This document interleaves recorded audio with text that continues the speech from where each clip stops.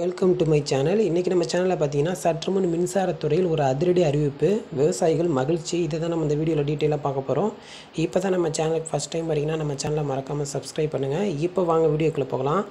தமிழ்நாடு முழுவதும் பார்த்தீங்கன்னா புதிய மின் இணைப்பு வழங்கக்கோரி விண்ணப்பம் செய்பவர்களுக்கு மூன்று நாட்களுக்குள் இணைப்பு வழங்கிட வேண்டும் என மின்சார வாரிய ஊழியர்களுக்கு விநியோக இயக்குனர் அதிரடி உத்தரவு அறிவித்துள்ளார்.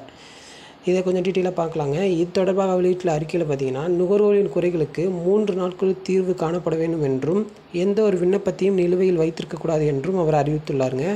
மேலும் பார்த்தீங்கன்னா நுகர்வோரின் குறைகளுக்கு உரிய காலத்தில் தீர்வு வழங்காத பட்சத்தில் சம்பந்தப்பட்ட ஊழியர்கள் மீது நடவடிக்கை எடுக்கப்படும் எனவும் அறிவித்துள்ளார். மேலும் பார்த்தீங்கன்னா மின் மாற்றிகள் பழுத பழுதடைந்த மின்கம்பங்கள் துணை மின் நிலையங்கள் உள்ளவற்றின் பராமரிப்பு பணிகளுக்காக ஒவ்வொரு சர்க்காருக்கும் தலா ஐந்து லட்சம் ரூபாய் நிதி ஒதுக்கீடு செய்யப்படும் எனவும் மின்சார வாரியம் அதிரடி உத்தரவு அறிவித்துள்ளது.